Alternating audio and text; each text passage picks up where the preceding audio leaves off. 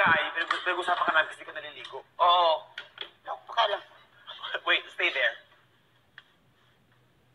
Di ba ginagawa mo yan sa akin?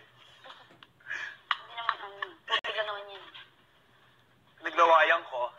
Wala akong pakialam. Sanay na ako sa ganyan. Really? Of course. Sabagay, marami ka nga pala.